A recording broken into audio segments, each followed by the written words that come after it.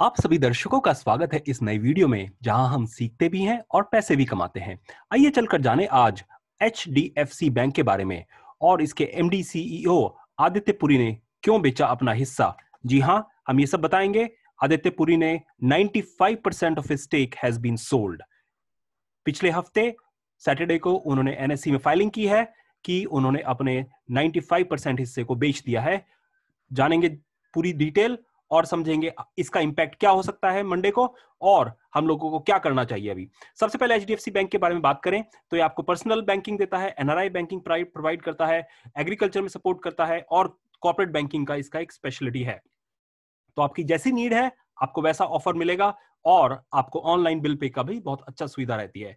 इनकी सबसे अच्छी बात यह है कि इन्होंने कार्ड्स बहुत इशू किए हुए हैं एच के क्रेडिट कार्ड और डेबिट कार्ड, और जिन्होंने मर्चेंट के साथ टाई अप करके काफ़ी अच्छे ऑफ़र रिटेलर्स को मिलते हैं। तो इस वजह से इनकी सेल्स भी इंक्रीज होती है और कस्टमर को भी फ़ायदा मिलता है। तो दोनों का एडवांटेज है विन विन सिचुएशन है। अब हम बात करते हैं आदित्य पुरी की, जो एक मैनेजिंग डायरेक्टर सीईओ है इस कंपनी के 1994 से। जी हाँ अब उनके बात करते हैं, उन्होंने किया क्या है? उन्होंने अपने 95 परसेंट शेयर को बेच डाला है। जी हाँ टोटल शेयर है 74.2 लाख जो उन्होंने बेचे हैं और जिनकी कीमत करीब करीब आठ करोड़ की है। जी हाँ इतनी बड़ी क्वांटिटी में उन्होंने सेलिंग की है। अब बताते हैं डिटेल इसके बारे में। आदित्यपुरी ने की जो एनुअल सैलरी है, वो 18.92 करोड़ है और इसमें एम्प्लॉय स्टॉक ऑप्शन इंक्लूडेड नहीं है। जी हाँ तो बहुत अच्छी हेल्दी सैलरी लेते हैं अपने आप से और ये 1994 में नियुक्त हुए थे एच बैंक के सीईओ e और मैनेजिंग डायरेक्टर और इनकी एग्जिट अभी 2020 में है। इनका रिप्लेसमेंट अभी पूरी तरह अप्रूव नहीं हुआ है बट हमारे पास गुप्त सूत्रों के हिसाब से तीन खबरें मिली हैं कि तीन मेन कंटेंडर हैं, दो उनके एचडीएफसी बैंक के और एक एक्सटर्नल तो सबसे पहले जो है शशिधर जगदीशन जो है, वो एचडीएफसी बैंक के इन हाउस मेंबर है, जो कि लीडिंग कैंडिडेट हैं इस पोजीशन के लिए अक्टूबर 2020 में। दूसरे हैं काइजाद बरूचा, ये भी एच बैंक के ही मेंबर हैं और ये भी एक सेकंड लीडिंग कैंडिडेट हैं। और एक एक्सटर्नल मेंबर है, जी हाँ सिटी ग्रुप से सुनील गर्ग ये भी एक लीडिंग कैंडिडेट है इस पर्टिकुलर रेस के लिए जो तीन अभी आइडेंटिफाई हुए हैं। फाइनल डिसीज़न इनकी एक्सक्लूसिव बोर्ड कमेटी लेगी बट ये तीन लीडिंग कैंडिडेट हैं जिनको वो सिलेक्ट कर सकते हैं आगे फ्यूचर के लिए। तो अब हम समझते हैं कि HDFC बैंक के जो मैनेजिंग डायरेक्टर सीईओ जिन्होंने 1994 से इस बैंक को इतनी अच्छी तरह संभाला है, वो एकदम अपने निकलने से पहले ही शेयर क्यों बेचते रहे हैं? क्या कुछ अंदर की खबर है? आइए चलो समझते हैं इसको। पहले समझ लीजिए कि ये, इनका बैंकिंग सिस्टम कैसे है? ये सिंपल एनआईआई पे काम करते हैं। कस्टमर से, जैसे आप और हम रिटेल कस्टमर हैं, उनसे फिक्स डिपॉजिट के माध्यम से पैसा लेते हैं। कम हमको कम दर मिलती है, छह प्रतिशत फॉर एग्ज़ाम्पल और वही दस या बारह प्रतिशत पे कॉपरेट को लोन दे देते हैं। तो जो नेट प्रॉफिट इनका होता है, जो नेट इंटरेस्ट मार्जिन जो होता है, अगर 12 प्रतिशत पे दिया तो नेट 6 प्रतिशत इनका इंटरेस्ट जो मार्जिन होता है, वो इनके पास रहता है, जिसमें ओपेक्स हटाने के बाद इनकी प्रॉफिटेबिलिटी आती है। तो इनका बेसिक सिंपल मॉडल है, कम दर पे लो रिटेलर से और ज़्यादा दर पर इस ब्याज को इस पैसे को ब्याज पर चढ़ा दो कॉर्पोरेट को। ये फिक्स डिपॉजिट भी ऑनलाइन करते हैं। ऑनलाइन इनका काफ़ी अच्छा बैंकिंग है। अब हम जरा समझेंगे इनका क्वार्टर वन रिज़ल्ट जैसे आपको पहले ही पता है एनआईए इंक्रीज हुआ है प्रॉफिट भी इंक्रीज हुआ है, इनके एनपीए केवल 1.3 परसेंट है, जो थोड़े से इंप्रूव हुए हैं, और इन्होंने फ़ीस करीब करीब दो हज़ार रुपए है जो घट गई है, दो हज़ार करोड़ है। इनकी अदर इनकम कम है, और कार्ड यूजेज जैसा एक्सपेक्टेड था कोविड के चलते हुए, वो कम हुआ है। तो इसकी वजह से ये ग्रोथ इसकी थोड़ी जो है वो कम हो गई है इस क्वार्टर में, और जिस तरह से ड्रीम रन हुआ है इसका, हो सकता है आगे ये थोड़ा रिड्यूस कैपेसिटी में वर्क करे। जैसा मैंने बताया, ये लोग बहुत अच्छी टाइप करते हैं बिग बास्केट के साथ हमेशा ऑफ़र रहता है, इनके साथ स्विगी के साथ ऑफ़र रहता है।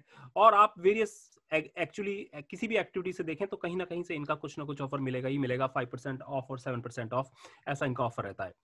तो ये सारी की सारी बैंकिंग प्रोवाइड करते हैं मोबाइल बैंकिंग है कैशलेस कार्डलेस कैश है व्हाट्सएप बैंकिंग है, और प्राइवेट बैंकिंग की जो है, वो सबसे अच्छी बैंकिंग मुझे लगती है।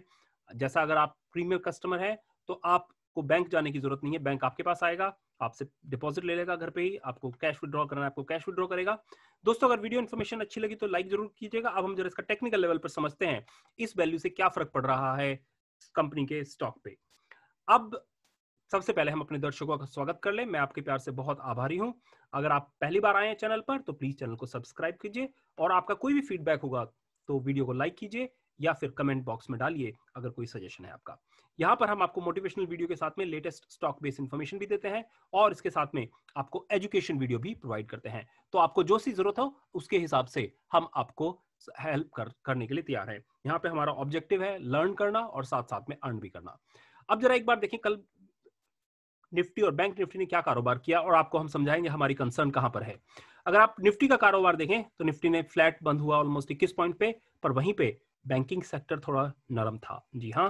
ये खबर आपको समझनी है कि बैंकिंग सेक्टर 1.83 परसेंट बंद हुआ है करीब 421 पॉइंट के लेवल पर और उसने कहीं भी, भी पिछले हाई को नहीं इवन तोड़ने की कोशिश की है। Forget about going to green अब इसमें सबसे ज़्यादा प्रॉब्लम की बात क्या है कि HDFC बैंक एक one of the best bank समझा जाता था। इसकी ड्रीम रन चली थी।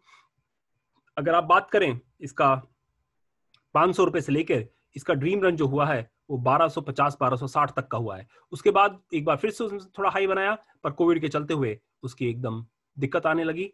सब मार्केट प्रॉब्लम हुआ 742 पे वो बिका। और उसके बाद में आप देखिए, इसने एकदम बहुत तेज़ी से रफ्तार पकड़ी है और अच्छा ऊपर गया है। ये एक्सपेक्टेशन में है कि क्वार्टर रिज़ल्ट अच्छा जा रहा है। पर अगर हम अब कर क्या सकते हैं? अगर आपके पास शेयर है तो आप क्या कर सकते हैं? और अगर आपके पास शेयर नहीं है तो आपको क्या करना चाहिए? हम बताते हैं आपको। ये देखिए इसका आपको दो लेवल याद रखने हैं 1093 जी हाँ 1093 और दूसरा लेवल 1023 ये दो लेवल आप ध्यान रखिएगा, अपने चार्ट पर मार्क करके रखिए। जब हम फाइनल कंक्लूजन बताएँगे तो आपको पता लगेगा इनका करना क्या है। 957 एक अदर लेवल है, जो 38 परसेंट लेवल है। अब अगर हम डेली चार्ट पर देखें तो डेली चार्ट पर इन्होंने अपना अपवर्ड राइजिंग चैनल बनाया है और अभी चैनल के बिल्कुल मिड पॉइंट में या उससे थोड़ा नीचे है बल्कि। वहीं पर अगर हम इसका बुलियंजर बैंड भी देखें तो बुलियंजर बैंड के बेसिस पर भी, ये थोड़ा डाइवर्जन चला गया था ऊपर की तरफ़ को, वहाँ से थोड़ा रिट्रेस हुआ रिट्रेस हुआ है, आ रहा है अभी मीडियन की तरफ़, और अगर इसको अपवर्ड जर्नी कंटिन्यू करनी है तो इसके ऊपर रह के थोड़ा सा फिर से अपवर्ड जर्नी कंटिन्यू करेगा। पर हमारी आशंका कि इस न्यूज़ से कल मार्केट में थोड़ा बाज़ार नरम रहेगा एचडीएफसी बैंक का, और हो सकता है ये दस अस्सी जी हाँ एक हज़ार अस्सी के आसपास ट्रेड करे। आप बताइएगा आपको क्या लगता है इस खबर के हिसाब से प्लीज़ कमेंट में? क्या ये मार्केट ऊपर जाएगा कल? क्या क्या नीचे जाएगा एच बैंक मार्केट में? आप बताना। अगर हम इंट्राडे लेवल पे भी काम करते हैं इसमें तो आपको डेली ट्रेंड समझना है। इसने जून एक से सुपर ट्रेंड ने इसको अपवर्ड मूवमेंट दिखाया है। जी हाँ और अभी तक कोई अपवर्ड मूवमेंट का ब्रेक नहीं हुआ है। अगर वो 1040 को ब्रेक करता है, तभी उसका डाउनवर्ड मूवमेंट शुरू होगा सुपर ट्रेंड के हिसाब से। वहीं पे अगर आप इसको मूविंग एवरेज के देखें जो स्लो इंडिकेटर होता है, वो उसने करीब करीब जून तीन या चार से अपवर्ड ट्रेंड शुरू कर किया था और अभी तक अपवर्ड ट्रेंड कंटिन्यू कर रहा है, पर यहाँ पे थोड़ा ये मूवमेंट थोड़ा कम हो जा रहा है। तो इससे आपको मोमेंटम का पता लग जाता है कि क्या हो रहा है, क्या नहीं हो रहा है। अगर आप अब फिफ्टीन मिनट का चार्ट देखें तो पहले इसको एनालिसिस करते हैं। जैसा बैंक ने काम किया, वैसे इसने किया, पर बाद में थोड़ा सा शेयर में थोड़ी जान आई और इसने प्रीटी मच काफ़ी लॉस्ट ग्राउंड को कवर किया।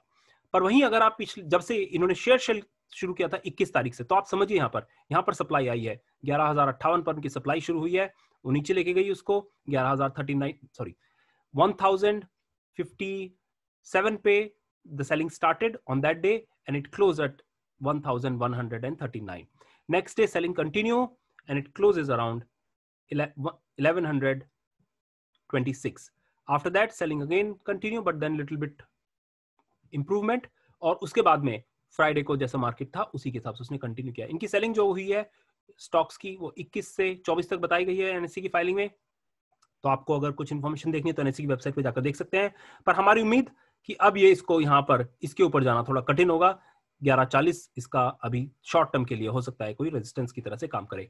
अब हम आपको बात करते हैं, आपको करना क्या है इस स्टॉक में? अगर आपने लॉन्ग नहीं लिया है तो इस न्यूज़ के चलते हो सकता है ये एक हज़ार तक आने की कोशिश करे। तो हमारी सलाह, ये बहुत अच्छा बैंक है, कोई ज़्यादा घबराने वाली बात नहीं है। थोड़ा इन्वेस्टर इसमें डर सकते हैं, क्योंकि आदित्यपुरी जी जाएँगे अक्टूबर में और पता नहीं कौन आएगा, उनकी कमांड उनकी स्टाइल उनका ऑपरेटिंग सिस्टम कैसे होगा। तो इस वजह से हो सकता है थोड़ा नीजर रिएक्शन हो मंडे को उनके 95 परसेंट स्टेक सेल करने के बाद में, क्योंकि एक साथ उन्होंने बहुत बड़ी 95 परसेंट सेल किया है तो कुछ तो शायद हो सकता है वहाँ पे गड़बड़ इन्फॉर्मेशन इनसाइडर इन्फॉर्मेशन है, जिसकी वजह से उन्होंने ऐसा किया है। तो इस वजह से हो सकता है कल मार्केट में थोड़ा नेगेटिव रुक रहे। और आप अगर आगे देखें तो आपको स्टैगर्ड मैनर में खरीदना है। पहली क्वांटिटी आप बात की, करने की कोशिश कीजिएगा, एक हज़ार से एक हज़ार दस के आसपास और दूसरी क्वांटिटी नौ सौ चालीस से नौ सौ तीस के आसपास। जी हाँ अगर कोई बात नहीं सेकंड क्वांटिटी नहीं आती है, फिर भी आपके लिए अच्छा है, आपका प्रॉफिटेबल रहेगा और अगर आती है तो आपका एवरेज कम हो जाएगा। हम हमेशा स्टैगर्ड मैनर में एडवाइस करते हैं खरीदने की। अब अगर इसके टारगेट की बात की जाए, कि इसका टारगेट कितना होना चाहिए तो हम बात करेंगे टारगेट की। Please consult your financial advisor before investing and trading अगर हम टारगेट की बात करें, आपको दो टारगेट देंगे। एक शॉर्ट टर्म का, अगर आप शॉर्ट टर्म ट्रेडिंग करना चाह रहे हैं तीन से छह महीने के टाइम जोन पे तो जो शॉर्ट टर्म का टारगेट हम बता रहे हैं, वो बता रहे हैं करीब करीब तेरह हज़ार का। जी हाँ सॉरी तेरह सौ का। अगर आप शॉर्ट टर्म के लिए देख रहे हैं और अगर आप लॉन्ग टर्म के लिए देख रहे हैं तो इसको हम दो साल के लिए करीब करीब ढाई हज़ार का टारगेट बता रहे हैं। जी हाँ दो साल में ये ढाई हज़ार से, दो हज़ार से ढाई हज़ार के बीच में ट्रेड करना चाहिए। तो जैसा आपको लगे, आप अपने हिसाब से सोचिए और इसको अपने हिसाब से स्टॉक में पोजीशन बनाइए। पर कमेंट में ज़रूर बताइएगा आपको क्या लग रहा है इस इन्फॉर्मेशन से, क्या मंडे को मार्केट इसकी वजह से नेगेटिव खुलेगा, क्या होगा, आप बताइएगा हमें इन्फॉर्मेशन देगा थैंक यू बाय